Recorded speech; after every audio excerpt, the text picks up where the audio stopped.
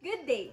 We are the researchers from Taguig Science High School, STEM 21, Set F with a research study entitled One Tagsci Intranet Effectivity Rating of Software as a Service School Intranet System through Beta Testing in Taguig Science High School.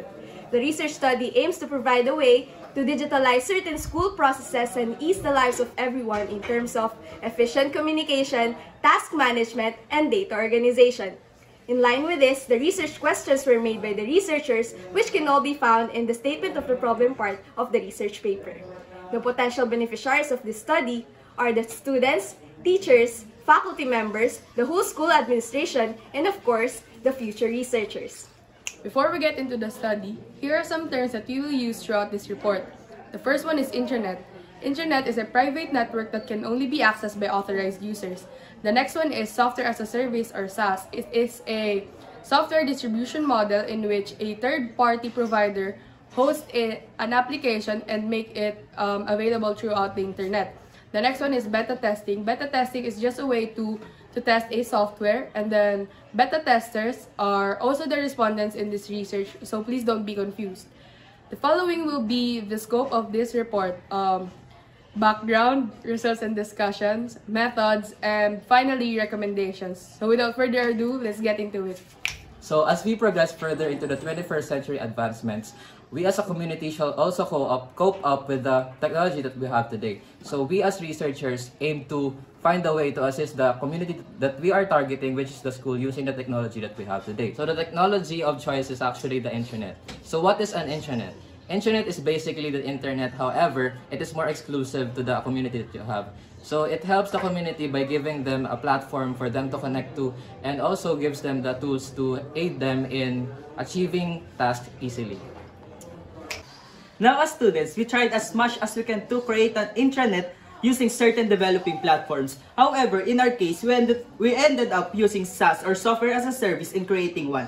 Software as a Service is basically a, a subscription type of software that provides tools based on the provider, which is in our case the intranet. And the researchers hope to know if the created intranet system will improve the quality of life of the community of choice.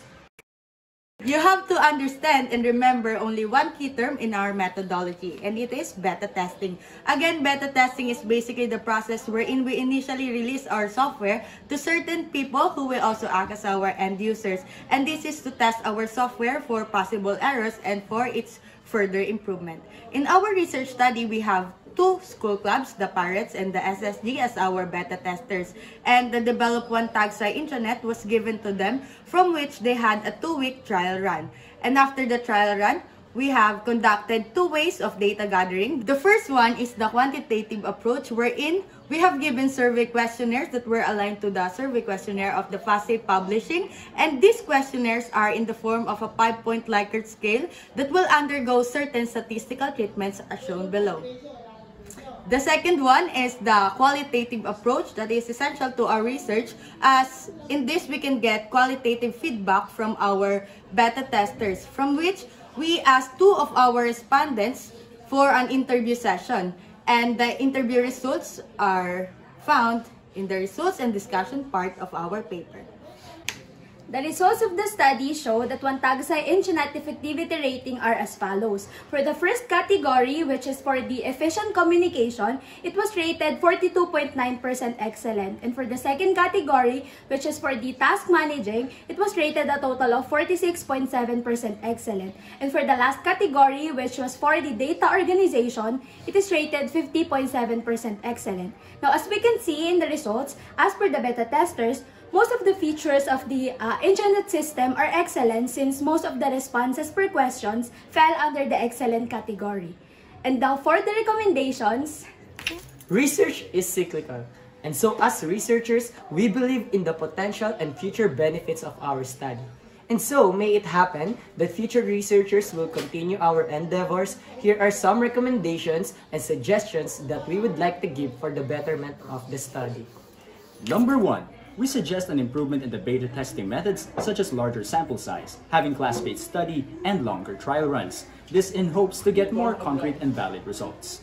Number two, we also suggest an alternative way in developing an intranet on which would not use software as a service platforms. This is to further cut costs in the project. Finally, number three, for future possibilities, we recommend an integration of RFID or radio frequency identification and the intranet system. A development of database will also be a good start in the digitalization of information in the community. And that's it for our research presentation. May we leave you with this quote. Technology is like a rocket ship. It takes us beyond the limit. Thank you.